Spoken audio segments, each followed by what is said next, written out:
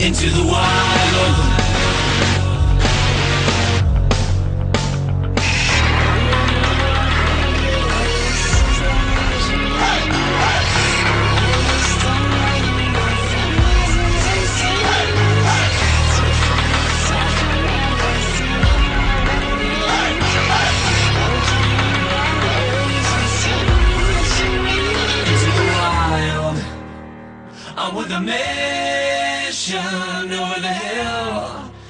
And come here with me.